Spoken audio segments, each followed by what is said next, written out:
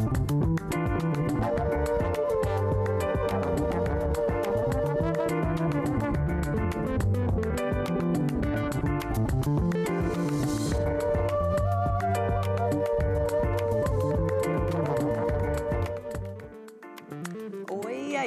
Boas-vindas a vocês. O programa Saúde Mais, Mais Ciência, Mais Bem-Estar, Mais Prevenção está começando agora. Não saia daí.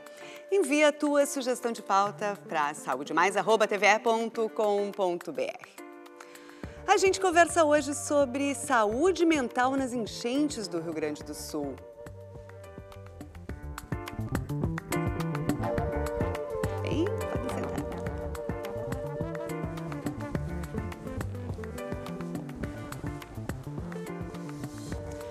A nossa convidada é a neuropsicóloga Luciana Zambuja, que também é doutora em neurociências, pós-doutora em pediatria da saúde da criança pela PUC. Junto conosco está a coordenadora de política da saúde mental da Secretaria de Saúde do Rio Grande do Sul, Miriane Castilhos Oliveira, terapeuta ocupacional e especialista em gestão do trabalho e educação em saúde.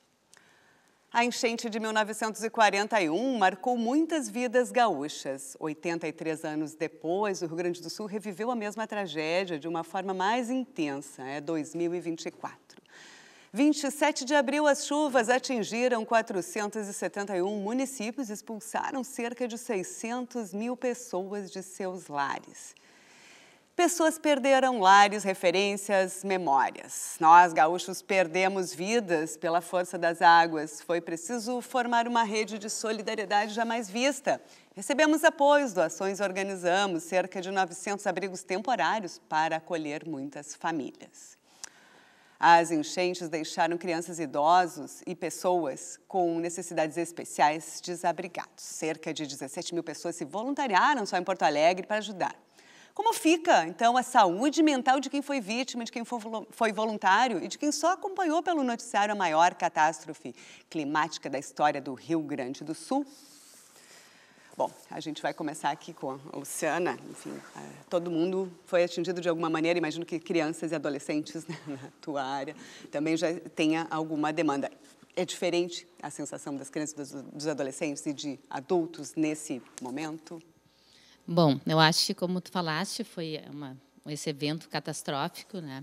Uh, abalou, acarretou vários, uh, várias dificuldades em todas as áreas. Uh, não, até mesmo quem não teve perdas diretas, essas perdas indiretas, mesmo presenciando crianças, as quais vivem, vivenciam isso pela, presenciam pela televisão, né, uh, não diretamente expostas também, uh, causa um impacto bem grande. Crianças, em especial, essa cada faixa etária, todos somos abalados, cada faixa etária tem, uh, tem algumas peculiaridades, por exemplo, a criança, a criança como não consegue verbalizar de uma forma adequada, é importante que todos nós tenhamos um olhar mais atento, porque como ela não consegue falar, ela em alguns comportamentos manifestos ela consegue mostrar o quanto isso abalou, né? Teve um impacto na vida dela. Como por exemplo, as crianças ficam mais ansiosas muitas vezes, tem se mostrado muita dificuldade de sono, alteração do sono,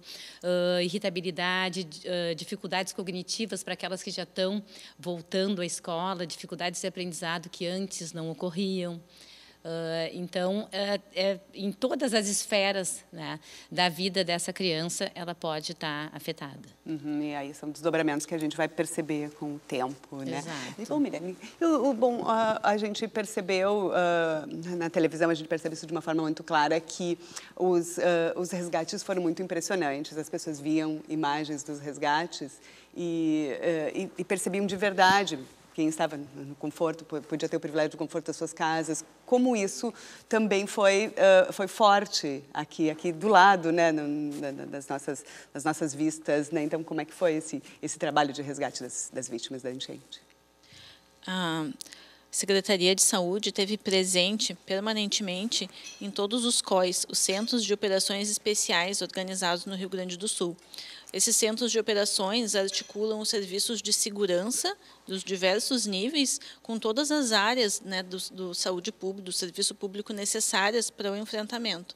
Então, a saúde esteve presente, né, articulando não só uh, os resgates, como também as transferências de hospitais, as transferências de pacientes em UTI, providenciando que nenhum paciente que faz hemodiálise ficasse sem o seu atendimento, salvando vidas. Né? A prioridade nesse momento era o que se preservasse né, o maior número de vidas possíveis e também, inclusive, fornecendo insumos e fazendo planos de contingência. Né? Então, a Secretaria de Saúde esteve diretamente presente nos COIs e em contato com os hospitais e as secretarias municipais de saúde. Uhum. Uh, bom, agora esse assunto vai ser uh, muito um, um, norte dentro de casa. Então, como é que tu acreditas que os pais, educadores, uh, devem abordar esse assunto com as crianças? Da forma que elas entendem. O mundo da criança é, é o mundo do, do, do, de brincar, em geral, mas elas estão se deparando né, com um tema um pouco mais forte, até pra, muitas vezes até para a capacidade de entendimento delas. Sim, exato. Como eu tinha dito, todos fomos abalados, né? Até mesmo assim diretamente, pessoas que não estavam em áreas de risco, uh, presenciaram as conversas com os pais, presenciaram na televisão, é uma coisa que não que está no universo deles e muitas vezes eles não conseguem entender.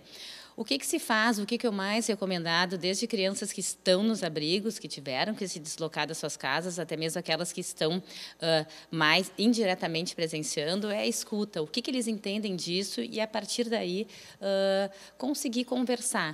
Uh, se sabe que falar muito sem a criança requisitar, explicar muitas coisas, muitas vezes pode ser mais ansiogênico ainda. Então, assim, de acordo com as demandas da criança, sempre abrir um espaço. Eu acho que é importante que a gente tem falado bastante a não minimizar.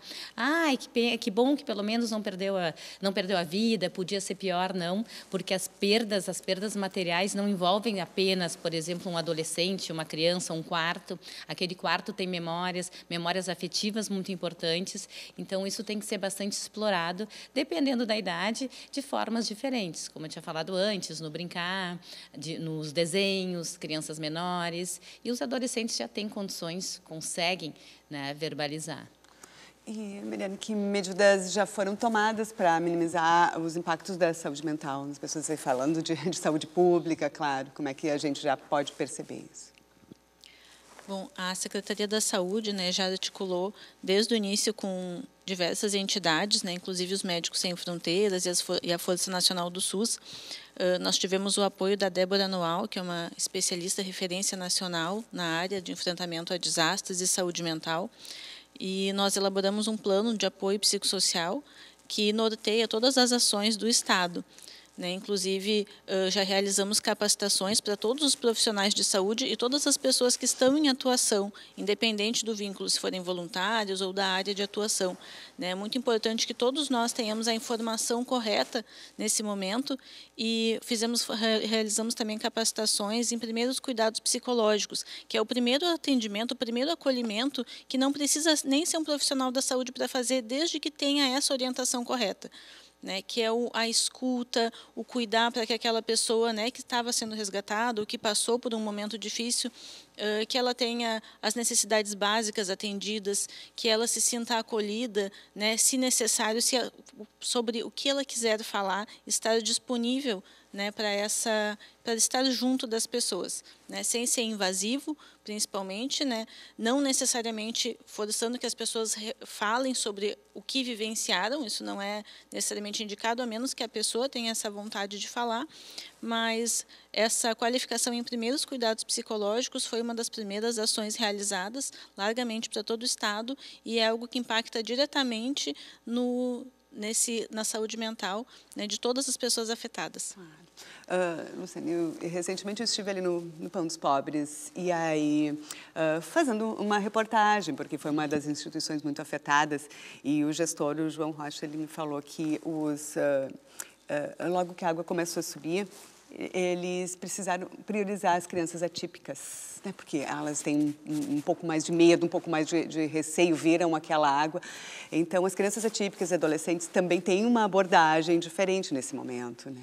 Sim, até porque o impacto uh, é ainda maior, porque as crianças atípicas elas têm uh, uma rotina, uma rigidez maior em relação às rotinas, às vezes dificuldades de compreensão do que está acontecendo e isso faz com que elas fiquem ainda mais ansiosas, mais desorganizadas. Então, tem algumas crianças atípicas, por isso que fizeram abrigos uh, exclusivamente para crianças atípicas, para que ali consiga manter um pouco da rotina, mesmo em ambientes diferentes, porque sim, o impacto acaba sendo maior em função dessas características. Uhum. E, bom, Miriane, quem, uh, quem cuida também tem que ser cuidado, né? Então, nos nossos, uh, nas na percepção aí de quem está na linha de frente, uh, esse cuidado também tem que ser redobrado, né? Porque a pessoa, em geral, a gente diz, né? Pelo menos, a, né? não, não é tão senso comum, mas a gente precisa estar bem para cuidar do outro. Então, como é que os profissionais da saúde estão cuidando da sua própria energia, da sua própria saúde? É verdade. Os profissionais da saúde tendem a priorizar muito o cuidado pelo outro, né? E nesse momento onde era inesgotável, né, o, o a, a vontade de ajudar frente ao tamanho da calamidade que aconteceu, foi preciso muitos esforços e organizar realmente estratégias de saúde do trabalhador e de cuidado ao cuidador para relembrar e criar ações para que os profissionais, todos os profissionais que estavam na linha de frente, eh, cuidassem também de si mesmo. Então foram feitas ações em loco e também foi realizada uma ação em conjunto com o apoio psicossocial e a política de práticas integrativas e complementares, que realiza ações nos abrigos, nos alojamentos provisórios, com todas as pessoas que estão atuando nesses locais, voluntários e trabalhadores. Né? Então, são práticas integrativas em parceria com a URGS também, que oferecem reiki, auriculoterapia, acupuntura eh, e diversas práticas para todo o estado, né, em diversas cidades, para que esses profissionais recebam, além de apoio uh, emocional, também essas práticas que auxiliam muito né, a pessoa a se, a se reestabelecer e se reequilibrar. Uhum. E, uh, quem está em abrigo, especialmente crianças e adolescentes, também estão experimentando uma nova rotina. Então, uh, assim, sem essas referências, uh, é um como viver esse momento é mais difícil, né, para quem está na, na, junto com, com, outras pessoas, outras famílias. É como é que as crianças poderiam ser bem orientadas nesse momento? Sim, eu acho uh, que essa questão da rotina é muito importante, como eu tinha dito. Uh, conseguir, óbvio que muda, mas assim, dentro disso, até a questão do sono quando estava falando da questão dos voluntários, tanto dos voluntários quanto dos abrigados, a gente vê muito nessas situações de catástrofe que muitas vezes a saúde mental é ainda mais abalada com a alteração do ritmo circadiano, que o que, que é? Que é o nosso relógio biológico. Então, assim, uh, uh, quando esse relógio biológico é alterado, tanto dos voluntários, né, que acabam tendo que ficar muitas vezes à noite uh, acordados, cuidando dos abrigados, e até mesmo dos abrigados, que tem, é um ambiente diferente, acaba tendo maior privação de sono, alteração, mudança nesses, nesses horários de sono, e isso faz também com que eles fiquem ainda mais prejudicados uh, psiquicamente. Então, as rotinas, além das questões das atividades, é importante manter os horários de sono, a alimentação, uh, dentro das possibilidades, obviamente. Uhum. Bom, agora a gente vai fazer um breve intervalo e o Saúde Mais volta já.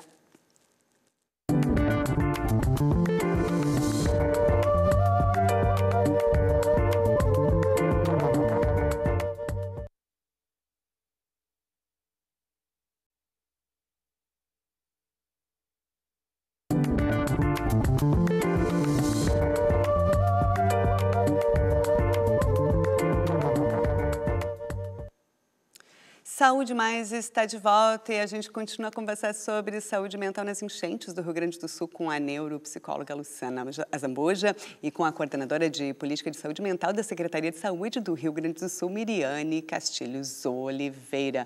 Então, uh, e vocês, pessoalmente? Muitas vezes a gente fala muito genericamente, mas a gente gosta de, de relatos pessoais. Como é que vocês estão lidando com a da saúde mental pessoal? Miriane, foi.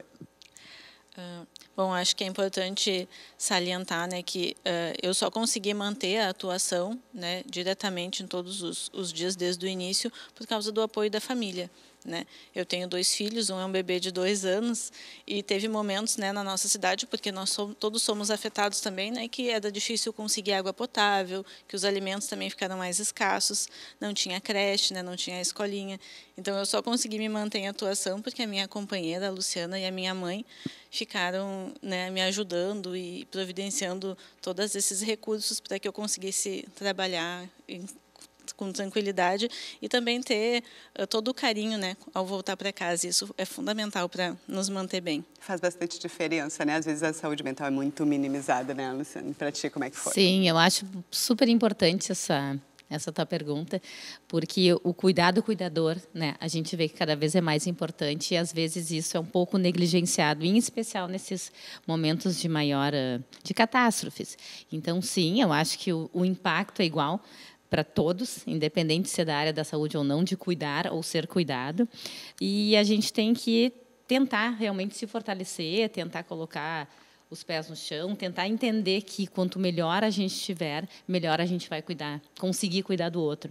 Eu acho que isso é uma premissa básica. O cuidado com qualquer cuidador, com qualquer, qualquer profissional da área da saúde, de extrema importância.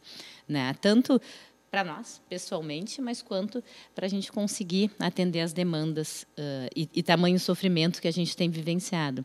Então, é isso, assim, passado o impacto inicial, é importante que a gente consiga eh, nesse, no ambiente familiar uh, e até uh, com amigos. É, é, importante que profissionais da saúde conversem, esses grupos são importantes, né, que, conversas até informais, para a gente entender o nosso sofrimento o sofrimento do outro. Uhum. E aqui a gente está entre mulheres, né, os meninos Sim. aqui não estão nos ouvindo, mas a gente sabe que a, o cuidado muitas vezes está Uh, está uh, necessariamente voltado às mulheres. As mulheres é que uh, provavelmente são as mais impactadas. Certamente, até porque, como também, também tenho filho, então, assim, a gente sempre está cuidando e cuidando do outro praticamente né, 24 horas. Então, isso também tem que ser levado em consideração. Uhum. Então, assim, vocês veem que a, assim, o cuidado com a saúde mental, tanto em equipe, em equipe de trabalho, em, voltado à família, todos eles aparecem muito mais agora diante de uma, uh, de uma grande catástrofe que, diferentemente, é evidente que muitas pessoas que perderam suas casas estão passando por, por mais problemas, mas, de alguma maneira, se faltou água na tua casa, já é um transtorno Sim. que implica, às vezes, alguma mudança na dinâmica da casa, né? Certamente. Né? Sim, é, eu acho que uh, na, nas catástrofes, né, nesses desastres, como nós temos aprendido com os especialistas que nos apoiam, né, tudo que já estava presente na sociedade, né, tudo que já existe, né, aparece de uma forma mais intensa. Né? Então, acho que com certeza essa esse papel da mulher, né, de cuidadora, também as relações de trabalho, né? Então é muito importante que a gente construa no nosso dia a dia, né, vínculos saudáveis de trabalho, relações de afeto, né, no trabalho, com a família, né, que a gente tenha recursos na nossa vida, né, também as nossas atividades de lazer, que a gente tenha na escola, né, nos ambientes de educação, uma boa relação, uma boa qualidade, porque isso também vai nos fortalecer nesses momentos né, difíceis, onde tudo isso que a gente foi construindo durante a vida, né, coisas boas e coisas ruins, também vão ser intensificadas. Uhum. E vocês percebem que alguns sinais específicos na saúde mental aparecem um pouco mais agora? Ou isso vai variar de acordo com. Uh a individualidade de cada um. Aparece mais pode aparecer mais pânico mais depressão mais ansiedade? Existe algum algum dado? O que, que vocês têm percebido? A gente trabalha com a pirâmide de IASC, né, que fala que 85% da população pode ter reações, existem reações esperadas, né, num momento como esse, de angústia, ansiedade, tristeza, alterações de sono, alterações de apetite, irritabilidade, mas que todas essas reações são esperadas porque nós passamos por um evento né, muito difícil, todo mundo né, foi impactado. Então, mas que essas reações são naturais e elas vão em algumas semanas passar para 85% da população espontaneamente, né? Então a gente não deve se a população não deve se apavorar com essas reações, né? Uh, mas deve sim buscar apoio na família, na sua, se tem alguma atividade religiosa, né, procurar a sua comunidade religiosa, uh, receber apoio, né, fazer as, as, suas atividades que já lhe traziam prazer, que já lhe traziam tranquilidade antes. Então, é muito importante saber que para 85% da população, né, essas reações vão vir e em algumas semanas elas vão passar. E principalmente o apoio comunitário, familiar, os afetos vão auxiliar para que isso passe de maneira mais tranquila.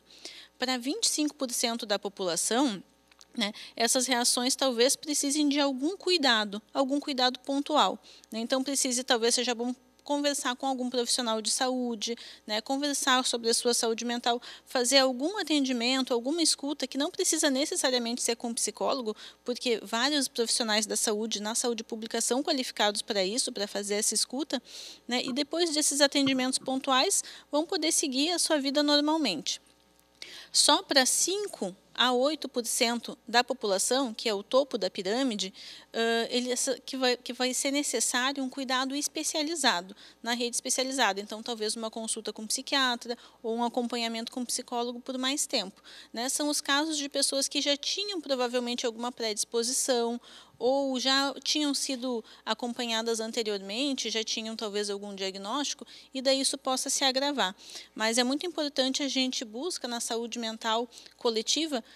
não patologizar, né? Porque uh, nós temos uh, sentimentos como a tristeza, né, ou como angústias que são normais frente a tudo isso esse acontecido, né? Então, a gente tem que sempre cuidar para a gente acabar não patologizando coisas que são normais da vida. Que são, assim, dependendo do, também do, de outros fatores, né? Uh, bom, Luciana, a gente falou de crianças e adolescentes, mas também uh, existem dados que dizem que em Porto Alegre, Porto Alegre é uma das cidades em que mais pessoas moram sozinhas e, e muitos idosos muitos idosos também hoje estão com... A, vida do idoso acaba demandando mais, mais cuidados e muitas vezes eles não têm, alguns estão em abrigos, alguns estão sozinhos.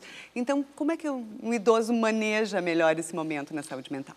Pois é, quando a gente fala de saúde mental, até muitas pessoas hoje em dia, agora nesse último mês, quando vão falar desse período, uh, não sei se vocês aconteceu com vocês, eles falam ah na pandemia, porque assim foi muito está tá muito semelhante, né? Os comportamentos das pessoas, essa questão uh, de ficar mais isolado, claro que por motivos diferentes, mas assim o impacto acabou sendo o mesmo. Então a gente vê que são as duas pontas mais prejudicadas, que é a infância e o idoso. O idoso, eu trabalho bastante com diagnóstico e a, e a gente sempre fala o quanto como estava se falando, não patologizar. Eu acho que é muito saudável essas questões todas, esses sentimentos todos frente a essas situações. E uh, muitas vezes, quando a gente fala do idoso, o idoso deprimido, ele pode ter um funcionamento cognitivo, ou seja, dificuldades de memória, dificuldades de atenção muito semelhantes até a um idoso com um processo inicial de demência. Então, a gente tem que cuidar desse idoso, a saúde mental, o humor dele, né? e, e entender que é um momento que é passageiro, para que seja passageiro para o idoso, e é saudável, mas para que seja passageiro para o idoso, ele precisa, sim, de mais, uh, de mais rede de apoio, porque isso falta muito, uh, que a gente vê, muitos deles ficaram, não conseguiam sair das suas casas, as casas eles moravam no terceiro andar, o primeiro, o segundo com água, e eles ficaram absolutamente isolados nesse tempo, né? E eles estão também, são, os idosos são mais apegados também à sua história, Exato. aos seus espaços, e às vezes não, não quiseram, e a gente compreende, Sim. né? Porque existe, né? Existe um, claro, um lado que a gente vai entender. Tem toda uma história normal. e tudo e até a capacidade de reconstrução em determinada idade é muito mais, ainda é mais difícil. Uhum. Então eu acho que precisa, uh, além do apoio do acompanhamento médico especializado, se necessário, é importante sempre que ele tenha uma rede, rede de familiares, de vizinhos mais jovens. Até se fez uma uh, alguns movimentos em alguns em alguns prédios quando não tinha água de pedir para os vizinhos mais jovens levar essa água até o idoso e, e não só a água, mas aí conversa. Essa rede é muito importante para que o idoso se mantenha uh, com a saúde mental. Claro, a gente lembra, né, como citaste a pandemia, né, muitas vezes a gente fazia né, um, um super para um vizinho, para alguém mais velho, né? Bom, meninas, então, assim, como viver melhor, então, nos próximos tempos, assim, vocês conseguem uh, nos... Uh, a gente precisa assim, eh, eh, passar algum otimismo, tanto acreditar nisso, ter fé, né? mas então, para vocês, assim, o que é que, o que a gente pode fazer aí para encarar bem os próximos tempos? Eu acho que sempre são os nossos fatores né, de risco para tudo, né? Uma Uh, como a gente falou, a questão do sono, a questão da alimentação, a questão de ter um, uma, esse apoio, né, uh, de familiares, de amigos, conseguir por mais, isso é outra coisa que a gente viu bastante nessas últimas semanas, que quando nessas catástrofes as pessoas com culpa, culpa de sair, culpa, né? Uh, a gente não tem que ter culpa porque precisa, a gente tem que tem que até que se esforçar, talvez inicialmente para retomar as atividades, inclusive de lazer, né? Para que isso a gente consiga minimizar cada vez mais mais rápido o esses impactos. E para ti, alado.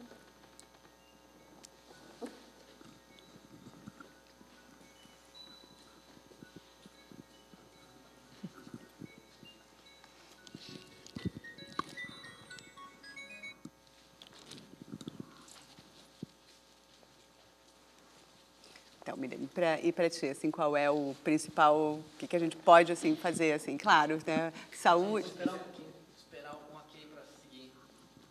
Ah, ok. Tá.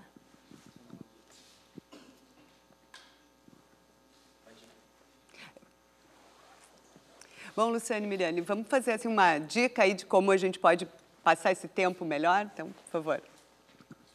É, nós da a Secretaria de Saúde, né, ela investiu 12 milhões em equipes multidisciplinares para a saúde mental na atenção primária. E o que, que se busca que essas equipes façam? Atividades comunitárias né, de reconstrução. Uh, isso né, é o que a gente entende né, como, e pelo que os nossos especialistas né, todo, todo a, a, teoria nos aponta como o principal foco né, para a gente conseguir fazer uma reconstrução coletiva. O que, que a gente tem que pensar que individualmente, né, sozinho, ninguém vai conseguir reconstruir né, o que foi perdido, mas em comunidade nós conseguiremos. Então, eu acho que a principal dica é que a gente se envolva em atividades comunitárias, em atividades coletivas, né, que a gente se uh, envolva né, em movimentos que a gente sinta que a gente não está sozinho, né, que a gente está reconstruindo junto nessa nossa sociedade.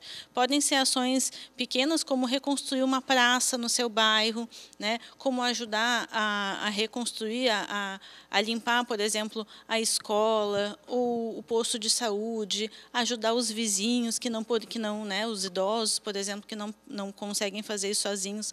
Mas essas ações de reconstrução coletivas são o que mais vão nos dar força, né, vão fazer a gente sentir a nossa saúde mental, sentir esse conforto, né, de que a gente não está sozinho, de que vai ser porque é possível se reconstruir, né, porque nós somos muito resilientes enquanto seres humanos e que isso foi um momento passageiro, né, e que nós poderemos sair até melhores, né, mais transformados positivamente de algo, né, que foi um evento catastrófico que aconteceu, mas que a gente vai se reconstruir. Vai, vai sim. Obrigada, então, Miriane, Luciane. A gente agradece a presença de vocês aqui na TV.